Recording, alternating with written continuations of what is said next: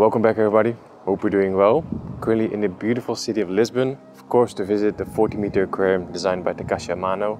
We wanted to visit this place since it was built in 2015. Today it's finally happening, let's go inside.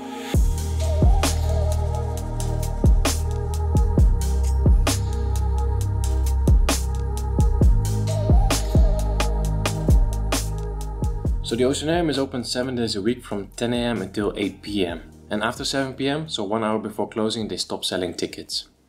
I arrived there about 15 minutes before opening on a Wednesday morning and there was only a small line of people.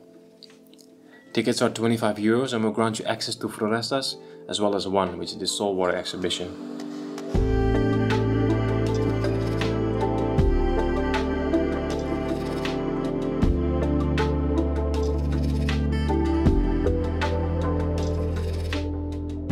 So after you enter the building, you have to walk up a few stairs to get to Florestas Submersas. There's a small hallway that leads to the aquarium, and here you will see a short story about the creator of this masterpiece, Mr. Takashi Amano.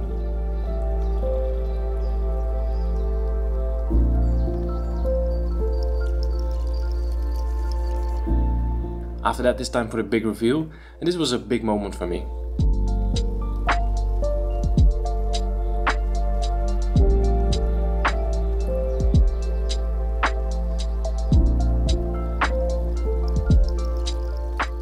Like I said, I've been wanting to visit this place for years, but just kept putting it off for stupid reasons. So when I finally saw it for the first time, I definitely got a bit emotional and choked up a little.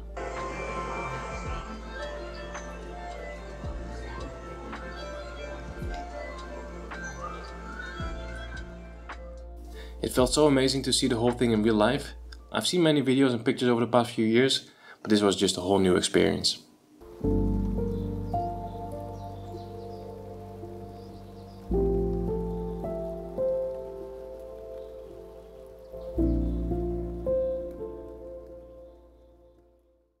Okay, so here are some facts about this aquarium. Let's start with the size.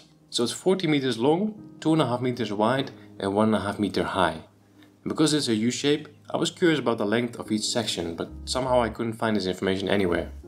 My best guess is that the middle part is 24 meters and the sides are roughly 8 meters long.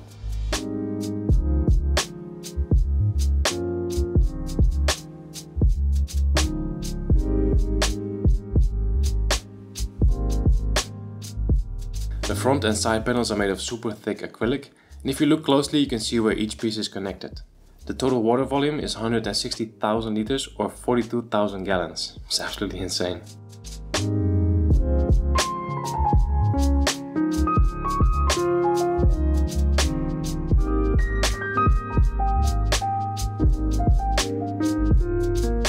And for the layout, they've used 8,550 liters of Amazonia soil 20 tons of volcanic stones, 78 pieces of giant driftwood, and 46 different species of plants.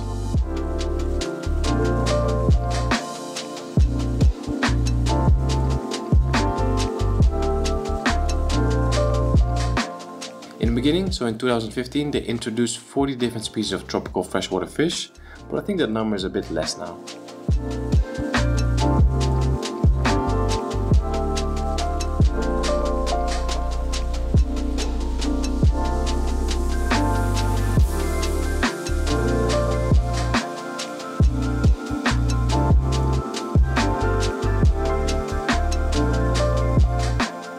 Florestas was built in January 2015 by a team of 90 people from 6 different countries. And one of them was Rui Alves, the owner of one of the best aquascaping shops in Lisbon. And he was kind enough to send me some photos of the construction so I can share it with you guys.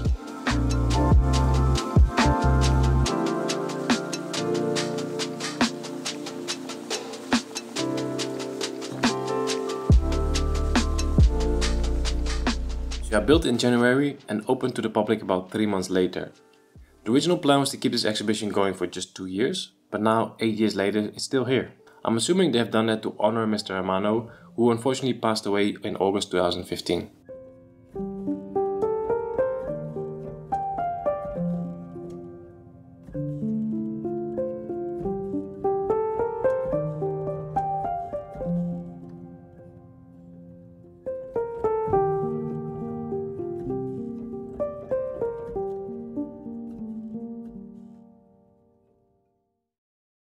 I'm sure you can imagine that maintaining this massive aquarium is not an easy task.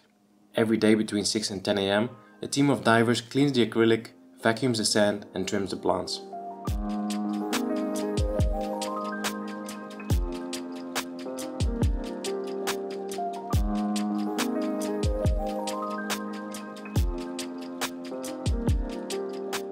I was hoping to get a little view behind the scenes, but unfortunately that wasn't possible.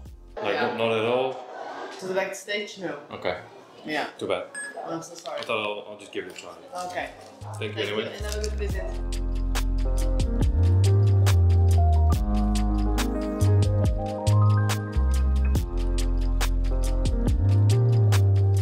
So as I mentioned earlier, I planned my visit early in the morning as soon as it opened up. But this wasn't the best decision because it was quite busy.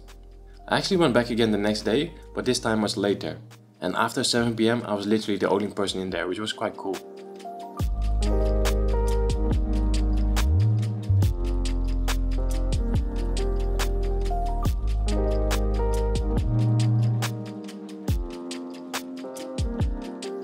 Now over the past two years or so, more and more people have told me that the quality of Florestas is going down a bit. So that brings us to the question, is this still worth a visit? And my answer is absolutely yes. If you've never been there before and you're thinking about making the trip, then do yourself a favor and just go. You will not regret it.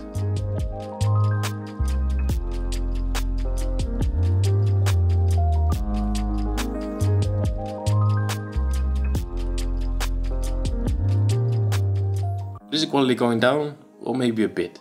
If you look really closely, you can see quite a few scratches in the acrylic. Some of the plants are not in the best shape. And if I look at the photos from Rui, you can definitely see that the colors were more vibrant back then. I think they have also reduced the amount of light over the past few years. But all in all, it was an amazing experience, and 8 years after it was built, it still looks absolutely incredible.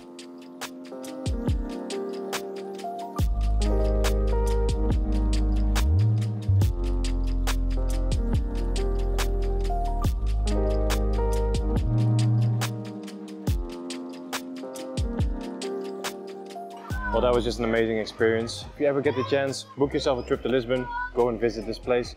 Guys, as always, thanks for watching. Don't forget to smash the like button. See you next time.